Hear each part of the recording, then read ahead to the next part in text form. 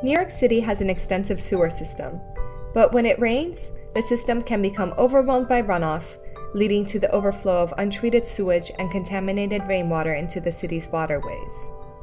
Green roofs can help to alleviate this issue. By capturing rainwater at the source and promoting evapotranspiration, these green infrastructure reduce the volume of runoff going into the city's sewers.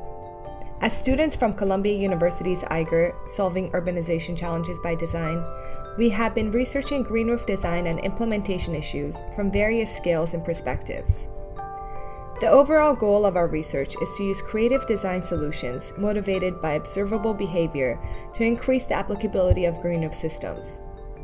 Our research addresses issues of material cost and energy by incorporating waste and recycled materials, wide scale monitoring by developing new, low cost, and low maintenance monitoring methods, and restrictions in weight and constructability with the design of a structurally dynamic vine canopy system.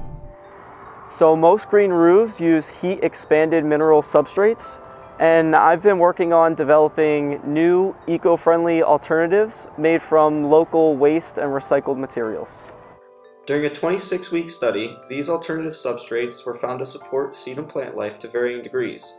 The results suggest that incorporating waste materials in green roof substrate design can help reduce overall construction costs and embodied energy.